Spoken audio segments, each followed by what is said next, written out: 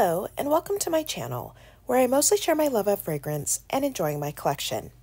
In this video, I'm going to be reviewing some affordable perfumes from Anthropologie, including from Nostalgia, Outremer, and Pharmacia. Thank you so much for stopping by, and let's get started.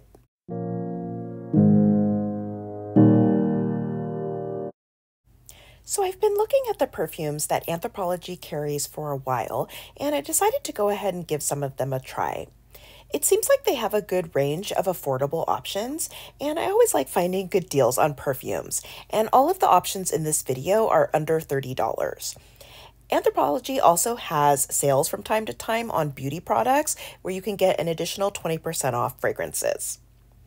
I went ahead and picked up seven perfumes from three of their main brands that they carry, which are Nostalgia, Outremer, and Pharmacia. Anthropologie also carries the brand Tocca, but that's readily available at other places like Sephora and Nordstrom, so I didn't include those in this video. But let me know if you'd like a review of my Tocca fragrances. First, I picked up one perfume from Outremer, which is a French brand. I think the packaging on this line is cute. The bottle is glass, and while the atomizer and tiny cap aren't my favorite, I think that kind of goes along with the price point.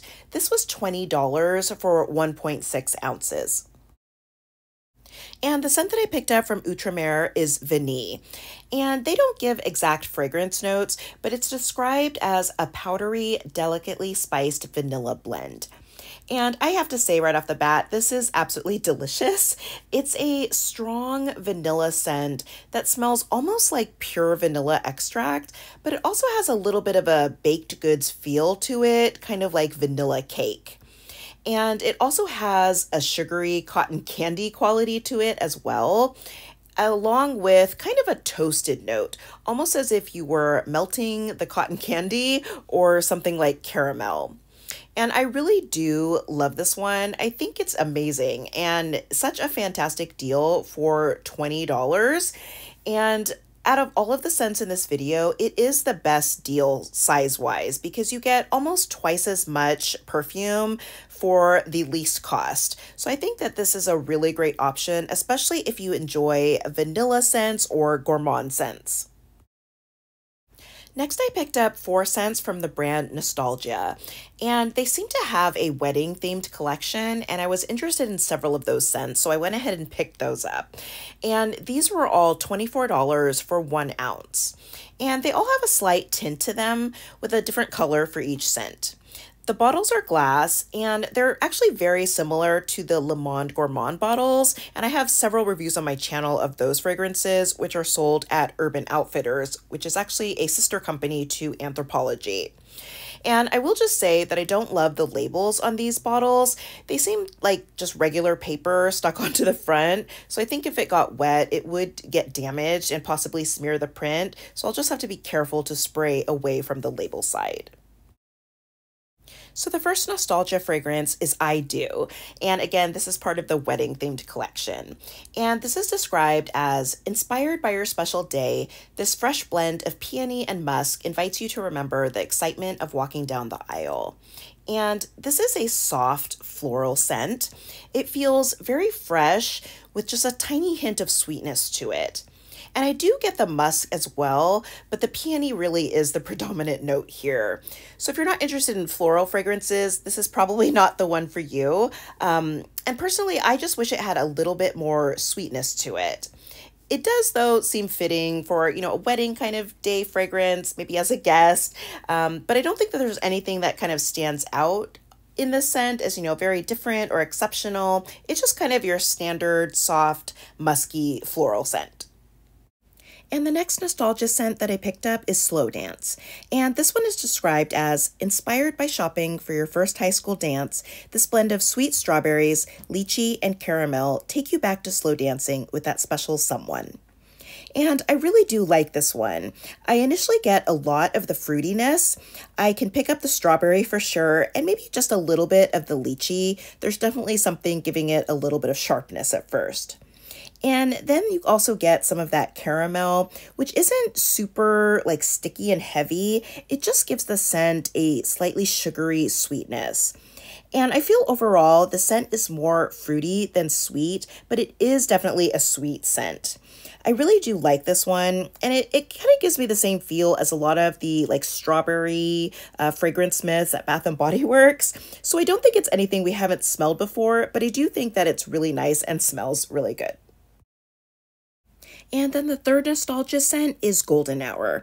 And this one is described as inspired by the fleeting magic of Golden Hour. This sweet blend of white almond, jasmine sambac, and cashmere musk captures the essence of your most memorable sunsets. And I also think this one is pretty nice. It's a light floral scent with a subtle almond note to it. And it also feels very warm. And so I think the name is very appropriate. It does feel, you know, kind of golden.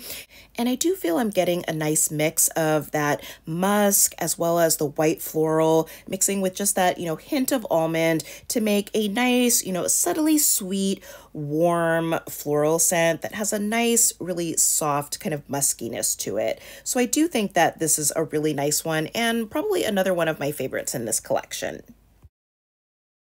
And the last scent that I picked up from Nostalgia is Road Trip.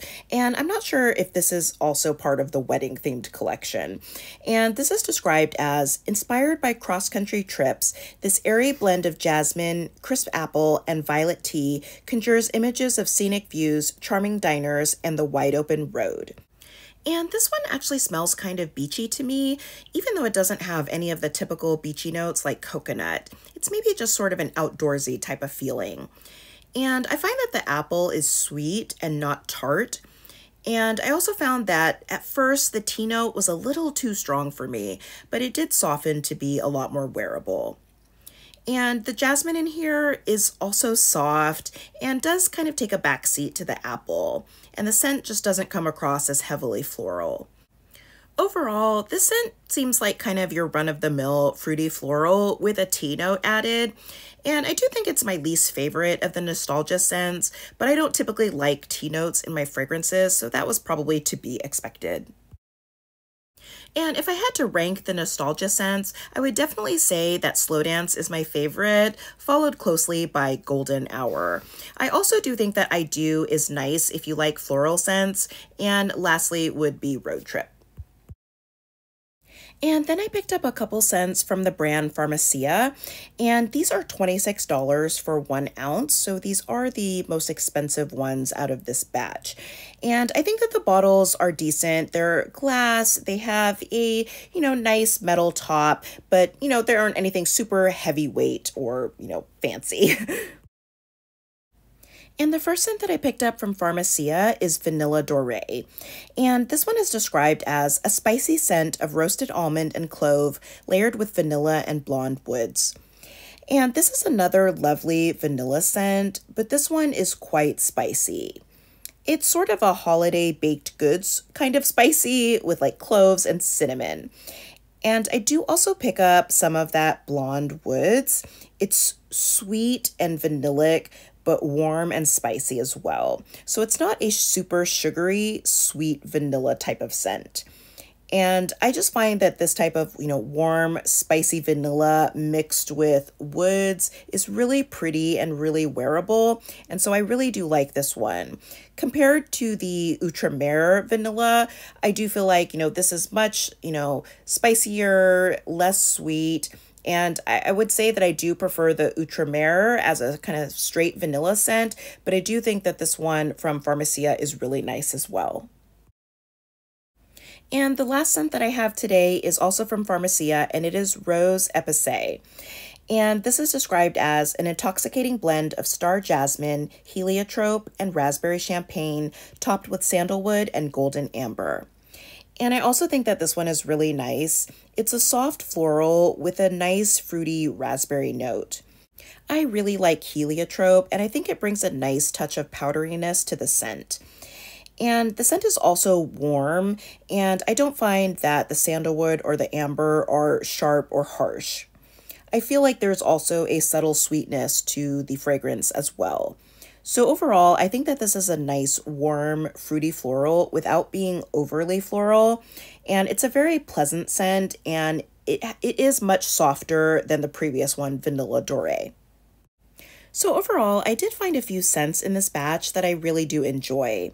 I think that Outremer Vanille is by far the standout and my top recommendation. It seems very strong, long lasting, and the scent is just absolutely beautiful.